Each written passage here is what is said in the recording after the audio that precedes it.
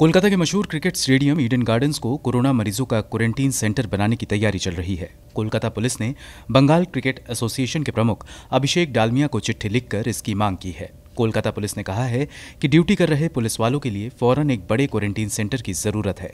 Board से मांग की गई है कि ईडन गार्डन स्टेडियम के block E F G H और जे को रसोई की सुविधा के साथ अस्थायी तौर पर मुफ़्त में मुहैया करा दिया जाए। बोर्ड के अध्यक्ष अभिषेक डालमिया ने इस मांग को मंजूर कर लिया है। उन्होंने कहा है कि संकट के इस दौर में प्रशासन की मदद करना बंगाल क्रिकेट अपना कर्तव्य समझता है। स्टेडियम का कुछ हिस्सा कोलकाता पुलिस के जवानों के लिए क्वारंटीन सेंटर के रूप में विकसित होगा। आंकड़ों के मुताबिक, अभी तक कोलकाता पुलिस के 544 जवान कोरोना से संक्रमित हो चुके हैं। हालाँकि इनमें से 411 जवान रिकवर कर चुके हैं, जबकि दो जवानों की मौत हुई है। पश्चिम बंगाल में कुल मरीजों की संख्या पच्चीस हज़ार के पार पहुँच चुकी है, जिसके चलते राज्य सरकार ने कई इलाकों में लॉकडाउन का ऐलान किया है। Bureau report, Go News.